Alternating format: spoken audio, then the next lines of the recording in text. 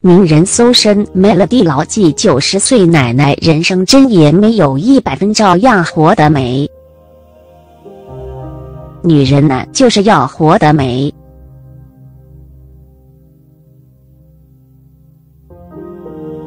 不管你日子好过还是不好过，就要活得很挺、很值得。如果你不爱惜自己，谁还来爱惜你？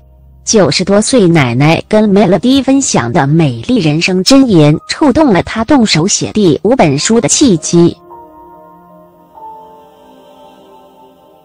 Melody 身为苹果时尚搜身的常客，经常分享全球最潮的时尚单品，但这回她想分享的东西有点逆向思考，肯定自己活在当下，自由自在，对 Melody 来说才是最高阶的终极时尚。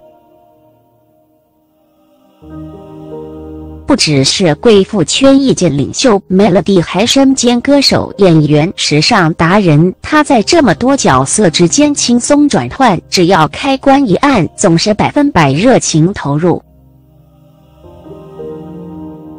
此时正值岁末年初的佳节时刻，Melody 照例携带大包小包，在家庭与工作之间频繁切换。从他包包掏出来的新书《谁说一百分的你才是最好的自己》，说明了他最近又忙着转换回去作家身份了。Melody 分享，这是我第五本书，它印证了我的中文又更上一层楼。字数有七万多字，两百二十四页，照片很少，这是我的坚持，因为我希望大家透过文字和人物描写来体悟人生。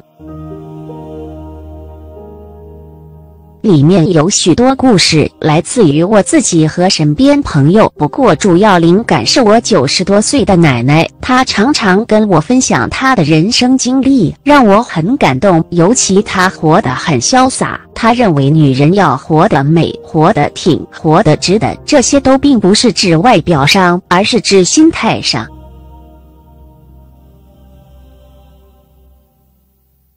现代女性常常想要做到一百分，不然就会很自责。我们都太紧绷了，但应该要更松。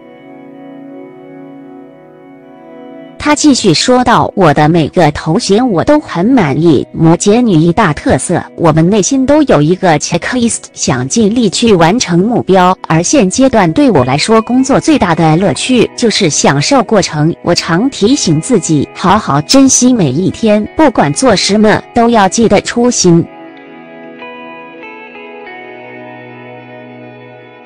所谓幸福到底是什么？”其实最好的状态就是自由自在，无论做什么，只要自在，就怎么都对了。